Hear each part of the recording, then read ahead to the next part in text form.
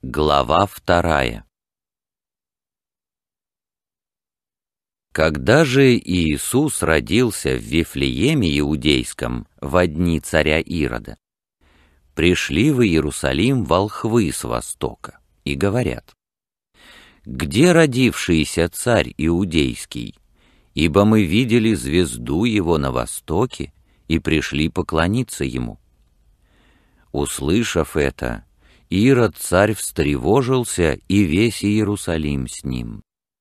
И, собрав всех первосвященников и книжников народных, спрашивал у них, где должно родиться Христу. Они же сказали ему в Вифлееме Иудейском, ибо так написано через пророка. «И ты, Вифлеем, земля Иудина, ничем не меньше воеводств Иудиных, ибо из тебя произойдет вождь, который упасет народ мой Израиля». Тогда Ирод, тайно призвав волхвов, выведал от них время появления звезды и, послав их в Вифлеем, сказал, «Пойдите тщательно разведайте о младенце, и когда найдете, известите меня, чтобы и мне пойти поклониться ему». Они, выслушав царя, пошли.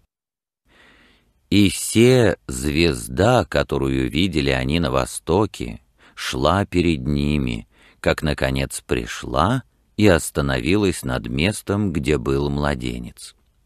Увидев же звезду, они возрадовались радостью весьма великою, и, войдя в дом, увидели младенца с Марией, матерью его, и, пав, поклонились ему, и, открыв сокровища свои, принесли ему дары — золото, ладан и смирну. И, получив во сне откровение не возвращаться к Ироду, иным путем отошли в страну свою. Когда же они отошли, се ангел Господень является во сне Иосифу и говорит — «Встань, возьми младенца и матерь его, и беги в Египет, и будь там, доколе не скажу тебе, ибо Ирод хочет искать младенца, чтобы погубить его». Он встал, взял младенца и матерь его ночью и пошел в Египет. И там был до смерти Ирода, да сбудется реченное Господом через пророка, который говорит «Из Египта воззвал я сына моего». Тогда Ирод, увидев себя осмеянным волхвами, весьма разгневался и послал избить всех младенцев в Вифлееме и во всех пределах его от двух лет и ниже, по времени, которое выведал от волхвов. Тогда сбылось реченное через пророка Иеремию который говорит «Глаз в раме слышен, плач и рыдание и вопль великий. Рахиль плачет о детях своих и не хочет утешиться, ибо их нет».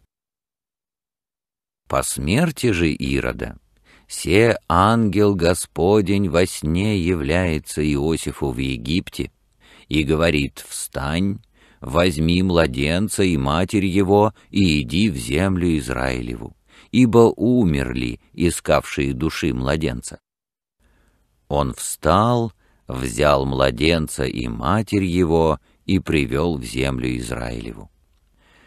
Услышав же, что Архилай царствует в Иудее вместо Ирода, отца своего, убоялся туда идти, но, получив во сне откровение, пошел в пределы Галилейские. И, придя, поселился в городе, называемом Назарет, да сбудется реченное через пророков, что он Назареем наречется.